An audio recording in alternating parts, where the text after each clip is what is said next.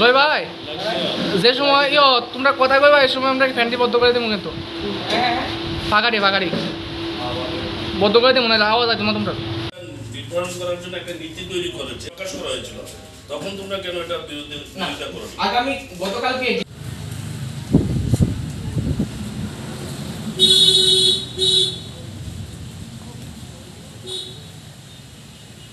Education বলে একটা চালু হচ্ছে। বাহাত্তর থেকে এটা করা হইল যে কোয়ালিটিশন যার ফলে টেটের মাধ্যমে বিএড এবং টেটের মাধ্যমে চাকরি, শিক্ষকদের চাকরি হচ্ছে, যাতে কোয়ালিটি শিক্ষক গড়ে ওঠে। সেই ক্ষেত্রে আজকের দিনে দাঁড়িয়ে যে মধ্যশিক্ষা পর্ষদ অরেলাম যে ঘোষণাটা করল, তাতে করে কোয়ালিটির শিক্ষক বা কোয়ালিটির ছাত্রছাত্রী কতটা বেরিয়ে আসবে বলে মনে করছ তুমি আন্দোলনরত সমস্ত ছাত্রছাত্রীদেরকে অসংখ্য ধন্যবাদ জানাই, কারণ তোমরা তোমাদের অনৈতিক ন্যায্য দাবির জন্য তোমরা আন্দোলন করেছ, তার জন্য আমি অসংখ্য ধন্যবাদ জানাই তোমাদের। এবং আমি নিজেও একজন ছাত্র হিসাবে তোমাদের কাছে আমি আবেদনটুকু রাখব যে তোমরা আমাদের ত্রিপুরা রাজ্যের ভবিষ্যৎ, তোমরা আগামী দিনে ত্রিপুরাকে, ত্রিপুরা হয়ে নেতৃত্ব দেবে। তাই আমি তোমাদের কাছে আবেদন রাখব যে ত্রিপুরাকে ভারতের রোল মডেল হিসাবে গড়ে তোলার ক্ষেত্রে তোমরা, তোমাদের বিরলস প্রয়াস জারি রাখবে এবং ত্রিপুরাকে ভারতের সন্নিক্ষণে পৌঁছে দেওয়ার জন্য তোমরা আপ্রাণ চেষ্টা করবে। নমস্কার। এই আন্দোলনের প্রথম সূত্রপাত আমাদের তেলিয়ামোড়া থেকেই হয়েছিল এবং শেষও আমাদের তেলিয়ামোড়াতেই হয়। এবং এটা রাজনীতির ঊর্ধ্বে আমরা অরাজনৈতিকভাবে ছাত্রছাত্রীদের পাশে দাঁড়ানোর চেষ্টা করেছি এবং তাদেরকে নিয়ে এই আন্দোলনটা করেছি। এবং পাশাপাশি তেলিয়ামুড়া, শুধু তেলিয়ামুড়াই নয়, পম্পি, তৈদু, আমবাসা, মনুঘাট, আগরতলা, মুঙ্গিয়াকামি এবং লংতরাই এই আন্দোলন ছাত্রছাত্রীরা করেছে।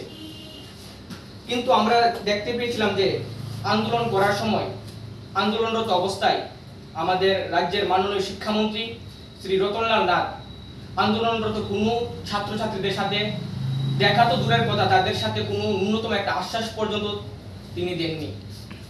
এবং আমরা দেখতে পাই যে বিভিন্ন ছাত্র সংগঠন যখন ওনার বাড়ির সামনে ছাত্রছাত্রীদের নিয়ে ধর্নায় বসে, উনি তাদের সাথে কোনো আশ্বাস না দিয়েই মাননীয় শিক্ষামন্ত্রী, উনি প্রশাসনকে কাজে লাগিয়ে আমাদের ছাত্রছাত্রীদের উপর লাঠিচার্জ করিয়েছেন। তাই আমি বলতে চাই যে এটা রাজ্যের ছাত্রছাত্রীদের রক্তের বিনিময়ে এই ঐতিহাসিক সফলতাটা আমরা পেয়েছি। যে সময় মধ্যশিক্ষা পর্ষদ পরীক্ষাটাকে বাতিল ঘোষণা করে। তারা বলেছিল যে উচ্চ মাধ্যমিকের ক্ষেত্রে তারা মাধ্যমিকের চারটা সাবজেক্ট টোটাল পাঁচটা সাবজেক্ট থাকে। সেখান থেকে চারটা সাবজেক্টের মধ্যে যারা, যে যত বেশি নম্বর পেয়েছিল সেটাকে এবং ক্লাস ইলেভেনের ফাইনাল রেজাল্টটাকে তার মধ্যে থেকে উচ্চ মাধ্যমিক রেজাল্টটাকে তারা ঘোষণা করবে।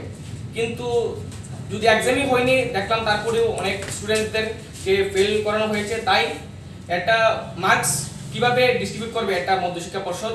তো আগেই বলে দিয়েছিল এখন মধ্যশিক্ষা পর্ষদ আমরা এখন মার্কশিট মানে যারা যাদেরকে ফেল করানো হয়েছে তাদের মার্কশিট এখন দিয়ে দিয়েছি সেটাকে দেখলাম আমরা বুঝতে পারব। না না আমি প্রথমে তাদেরকে মাধ্যমিকে টোয়েন্টি পার্সেন্ট ছাত্রছাত্রীদেরকে ফেল করানো হয়েছিল এবং উচ্চ মাধ্যমিকে টেন পার্সেন্ট ছাত্রছাত্রীদেরকে ফেল করানো হয়েছিল। কিন্তু এটা পরে রিভিউর মাধ্যমে ত্রিপুরা মধ্যশিক্ষা পর্ষদ জানতে পাই যে পারে যে তারাও মানে মানে প্রমোট হওয়ার যোগ্য। তার জন্য গতকালকে আমাদের ত্রিপুরা মধ্যশিক্ষা পর্ষদের সভাপতি উনিশশো নাইনটি নাইন পার্সেন্ট স্টুডেন্টসদের প্রমোট করার ঘোষণা দিয়েছে আর যদি Madhyashiksha Parshad ninety nine percent স্টুডেন্টসদের promote তাদের যোগ্যতা দেখে তাদেরকে প্রমোট করে থাকে তাহলে আমরা নাইনটি নাইন পার্সেন্ট স্টুডেন্টের কাছেই আমরা সেই কোয়ালিটিটা আশা করব। প্রথমে তারা কোনো আমি এটা শিক্ষা শিক্ষা দপ্তর আমি এটা গাফিলিতে মনে করব।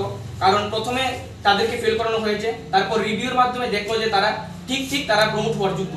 তার জন্য তাদেরকে গতকালকে আবার কিন্তু গভর্নমেন্ট একটা অপশনও রাখছিল যে যাদের এই মার্ক যদি ইয়ে না থাকে চয়েস না হয় বা স্যাটিসফাইড না হয় তাহলে পরবর্তী সময় তারা পরীক্ষা দিয়ে আসলে তারা ইয়ে করতে পারে। ঠিক আছে আমরা সেটা মার্ক- মার্কশিট যত মার্কশিট তো এখন আসেনি। মার্কশিট আসলে দেখব যে কতটুকু ছাত্রছাত্রীরা মার্কসের প্রতি তারা সন্তুষ্ট হয়। সন্তুষ্ট না থাকে, তাহলে ছাত্রছাত্রীরা আবার এক্সাম রি এক্সাম দেবে। সন্তুষ্ট না হয় তারা। না না, এটা তো আগে ছিল। যারা ফেল করেছে, তাদের ক্ষেত্রে বলা হয়েছে যে, যদি কেউ ফেল করে থাকে, তাদের যদি মার্কসটা স্যাটিসফাইড হয়, তারা এক্সামে বসতে পারে। কোভিড সিচুয়েশন শেষ হয়ে গেলে তারা মার্কস মানে এক্সামে বসতে পারে। এবং তখন যে মার্ক পাবে, সেটাই তার দেওয়া হবে। কিন্তু তোমাদের